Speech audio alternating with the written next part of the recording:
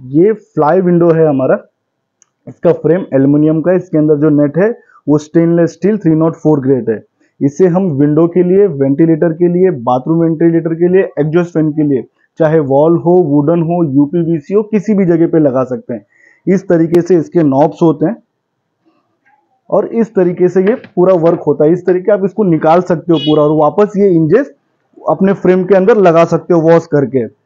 आपके घर में जितना भी ये काम हो, जैसे आपको लग रहा है कि बहुत ज़्यादा काम है, आप लगा नहीं पाओगे, ये कोई कर नहीं पाएगा तो आप इस तरीके का एक छोटा सा पीस, चाहे आपके एग्जॉस्ट फ़ैन के लिए हो, चाहे विंडो के लिए, एक छोटा सा पीस मंगाकर और ये सारा चीज़ इंस्टॉल कर कर जब आप सेटिस्फाई हो जाएँगे कि आप कर सकते हो, तब आप ऑर्डर कर सकते हो। तो आप एक छोटा सा पीस भी ऑर्डर कर सकते हो। इसका मतलब ये नहीं कि आपको बहुत सारा चीज़ मंगाना है, तभी डिलीवर होगा।